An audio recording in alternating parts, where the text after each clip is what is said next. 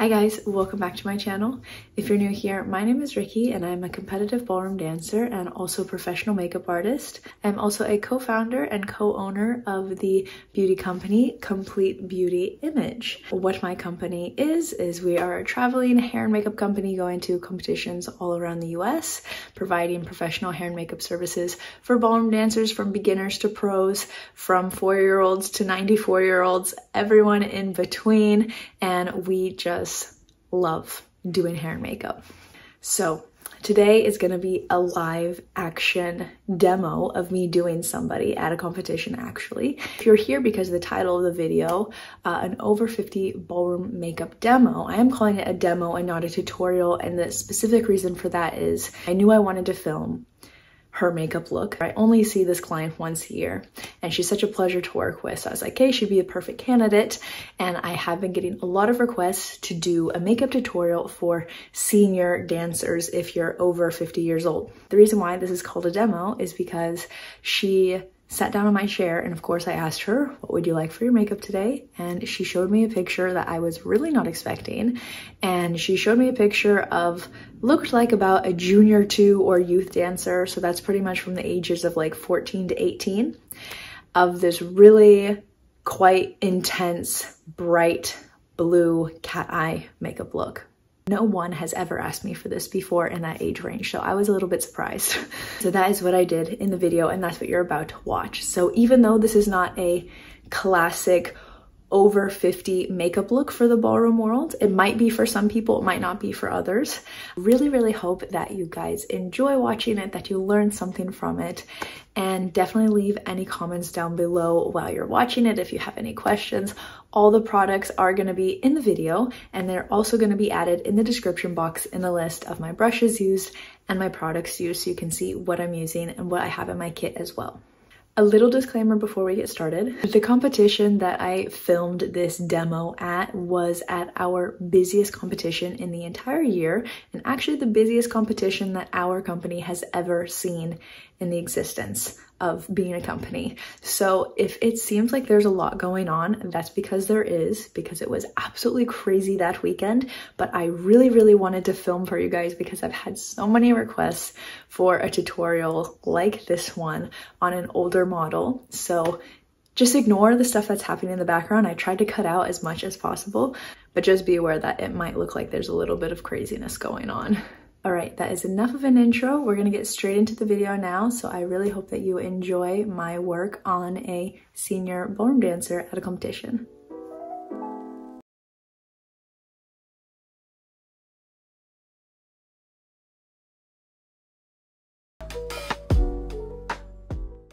So this is our beautiful client and model today. Her name is Beatrice. This is her before, already stunning, and it's a pleasure to work on her today for you guys. So I'm taking my PC09 brush and just brushing her eyebrows to start, and then using my ABH brow powder in the shade Ash Brown. I'm going to be filling in her eyebrows with my JH43 brush, and I'm just going to follow the natural shape that she already has and since she has beautiful dark hair, I am going to make her eyebrows dark, but not too dark because I don't like giving mature clients a super heavy brow. So just as dark enough as I think we should go. Then after that, I'm going to be taking my P. Louise eyeshadow base in the shade Rumour 2 on my PC52 brush. And I'm just going to carve out her brows like I would with any other client. And this is going to give them a nice lifted and clean shape and also prepare the lid for all the shadows. I'm also going to apply the eyeshadow base under her eye as well and in the inner corner, pretty much just around the entire eye. And then I'm going to take my JH08 brush. I'm just going to blend this out on the bottom, on the top, on the inner and outer corners to make sure it is a flawless base for what's coming next. Now I'm going to apply the scotch tape towards the tail of her brow, leaving a little bit of space between the corner of her eye and the edge of the tape. And using a shimmery white shade and my PC22, I'm going to highlight the brow bone and the inner corner. Now taking a neutral matte brown and a JH30 brush, I'm just going to throw this shade pretty much all over the entire eye from the crease and kind of mainly focusing it in the outer half of the eye, outer corner, and the crease. I'm also going to apply this under her lash line as well for a nice cohesive look on the bottom matching the top.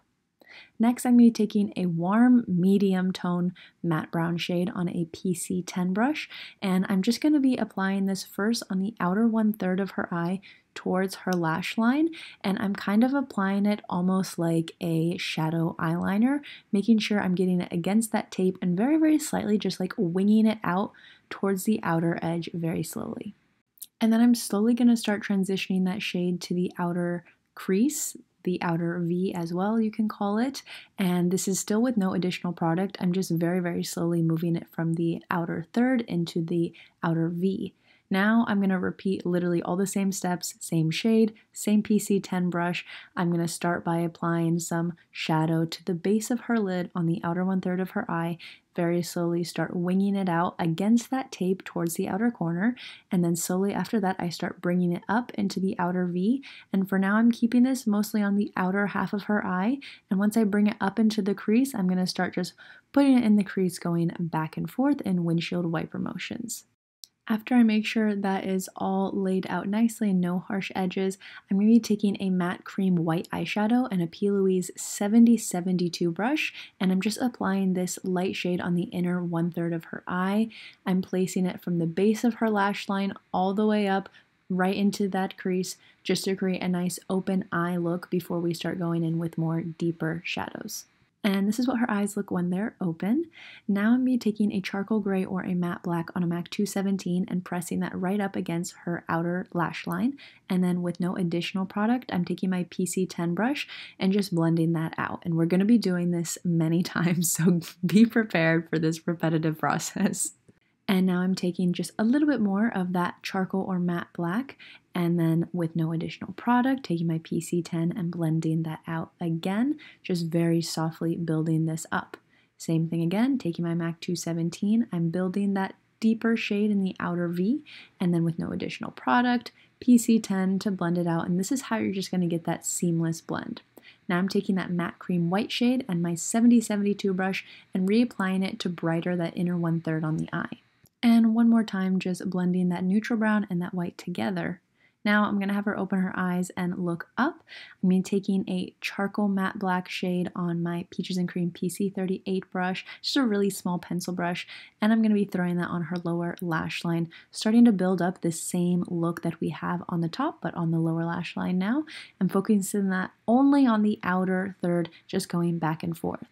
Now I'm going to take a matte turquoise blue shade and my Morphe Avani FF6 brush, and I'm just going to be throwing this turquoise shade all over that lower lash line, starting from the inner corner to that deeper shade that we applied first. And you're going to keep on building it until it gets to a nice opaque blue shade that you're happy with. And I'm taking a deep blue matte shade next and my JH39 brush and I'm putting that literally right up against her lower lash line. Now I'm going to take that either charcoal or matte black again on my PC38. I'm putting that again just on the outer corner. And then from the bottom, I'm going to start to create an eyeshadow wing using the tape and very lightly connect it to the top eyeshadow that we were already working on before. When she's looking straight out, it looks something like that.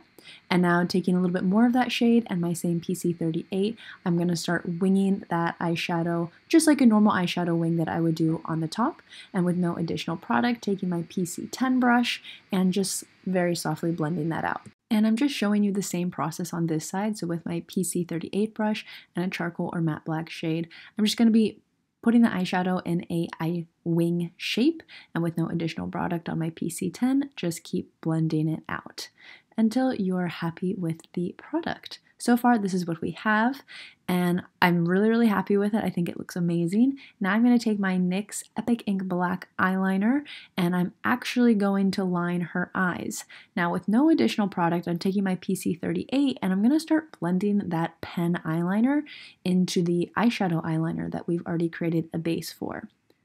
I'm going to be doing this on both sides and I'm going to be asking her to open her eyes and close her eyes and open her eyes and look down until I'm happy with this process. This can be a little bit tedious, but it makes the look so much better in the end. So very, very carefully, I do recommend this eyeliner. It's amazing to work with and I'm just going to be placing the eyeliner and then blending it out with that same eyeshadow brush. So you can see I place the liner and then right away I blend it out with the brush into that shadow eyeliner we already created before. And after repeating that process several times to get a really nice blend, I'm actually going to take a little bit more product of either the charcoal gray or the matte black brown, and I'm actually going to finish my winged out liner with a beautiful shadow liner on the edge. This is what it is looking like so far. Now I'm going to do the inner corner liner with my NYX Epic Ink black liner. This is my favorite eyeliner to do the inner corner with, and I'm just doing that in short strokes. Now I'm going to be taking my Amazon Losha lashes and I'm just measuring this lash right now so I can see how much I need to cut off before I actually apply it to her eyes. And next I'm going to be taking my Inglot blue eyeliner in the shade 82 on my Inglot 31T brush. And this blue gel eyeliner is going into her waterline. It looks absolutely stunning. It kind of matches the earrings that she has on, and it just pulls the whole blue lower lash line look together really, really well. Next, I'm going to be removing the tape, and while this is happening, my eyelashes are being set up so the glue is getting nice and tacky. And I'm going to be taking my Neutrogena makeup wipe and just cleaning up the outer edges, also under her eye and anywhere else that needs to be cleaned up before we go in with any complexion products. And so far the eye look is looking amazing. And now the lashes are ready and I'm just going to be popping those on her. And a really great tip if you're applying eyelashes on your friend or somebody, have them look down while you're applying them instead of closing their eyes so their eyelash so their eyes won't get glued shut together while you're trying to apply them. And so far I just popped those on and this is her when she opened them. I'm super happy with how the eyelashes are sitting and I'm going to take just a little bit of black, throw that on the bottom outer corner because I thought it needed just a little bit more definition and then with no product on a PC09 brush I'm just pulling out that little bit of winged liner that we did with the shadow. Now we're just going to brighten up that blue on the lower lash line again with that turquoise shade and the FF6 brush. This is the lighter blue and we are just really brightening that up and pulling it down. And next I'm going to have my NYX glitter glue on my FF2 brush from the Morphe X Avani collection. And I'm just applying my glitter glue all over where the blue is because next we're taking our Peaches and Cream blue pigment. This is in the shade Mermaids on a JH42 brush and this is where the magic happens. Oh my gosh, she looks so pretty. I love this look on her. And next I'm taking that matte cream white shade on my 7072 brush and I'm just putting that right on the inner corner to brighten it up a little bit. Then taking my Morphe M410 brush, I'm just deepening it up that shadow liner that we did. And this is the eyes, pretty much the finished look before we go on and do the complexion. And I hope you guys are enjoying this tutorial so far. Now, we're going to move on to complexion, which always happens at the end of my appointment. Taking my Maybelline Superstay Foundation in the shades 310 and 312 mixing them together and then using my Papa Beauty Sponge. This is from Amazon, an amazing dupe for the Beauty Blender. I'm just going to go ahead and start blending this in. I did speak with the client and she did want to go for a little bit of a tan today, so that is why it is darker than her natural complexion, but I am going to be blending that in all over her face and also down her neck as well. And you guys know how to apply foundation. As you can see, it's getting a little bit crazy in here. Next, I'm going in with the Hydrating Camo Concealer in the shade Light Peach by e.l.f. This is my favorite concealer to use, especially on mature clients. It really, really brightens. I'm putting it in all the same areas that I would normally put concealer and I'm using the same sponge to blend that out. I always blend out the outer areas of the face first and then I go in and blend out the under eye so that area gets more coverage so the under eye is really really nice and bright. Also I love this formula because it doesn't like cake up and it's just really really hydrating and gives the skin a beautiful look.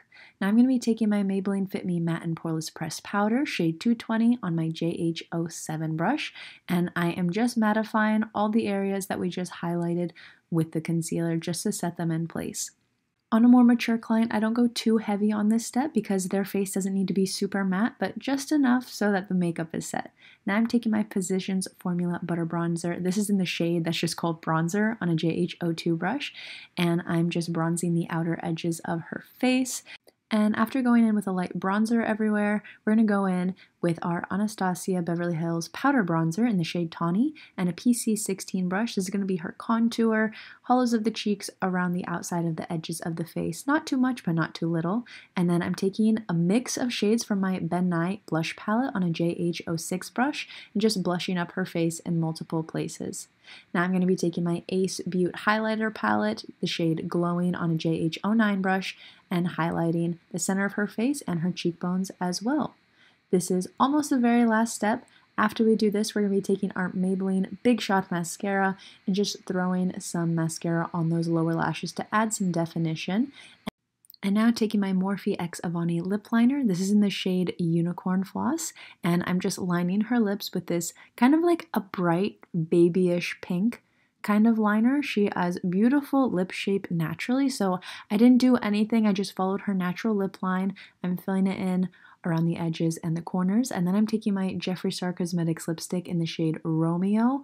I thought this would just pull out the blue so beautifully and it's really bright enough that it's gonna stand out on the floor. I'm just gonna take a lip wand and just blend that into the outer edges where we did the lip liner.